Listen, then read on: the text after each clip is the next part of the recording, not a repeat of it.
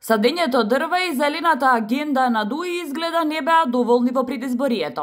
Ахмети вети и Албанец председател на државата. Премиерот Заев пак, били тоа било добра амбиција на неговиот коалиционен партнер, но за да се исполни истата, требало да има поддршка и од македонското население во државата.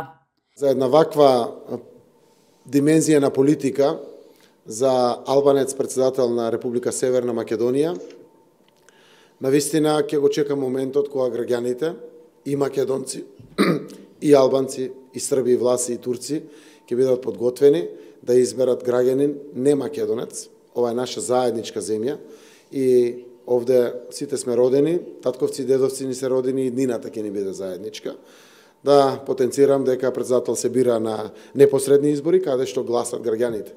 Тоа не се договара политички, партиски, тоа е невозможно, не убира парламент или бира влада. Изјавата на премиерот дека го чека моментот кога граѓаните ќе бидат подготвени за председател Албанец, доаѓа од како на митинг во Скопски чаир, Ахмети побара од граѓаните да гласа за Шилегов. И Вети Попендаровски, Македонија ќе добие председател Албанец. После министер за одбрана Албанец, после министер за надворешни работи Албанец, после председател на собрание Албанец, на следните парламентарни избори после 100 дена влада влегува со премиер Албанец. Наредно е председател на држава да биде Албанец. Минатите парламентарни избори, интегративците користеа слична риторика. Тогаш бара Албанец за премиер, на што партијата на Заев се противеше, за потоа да попуштат и да се најде решение. Последните 100 дена од мандатот Заев да го напушти премиерското столче, а на него да седне предлог на ДУИ.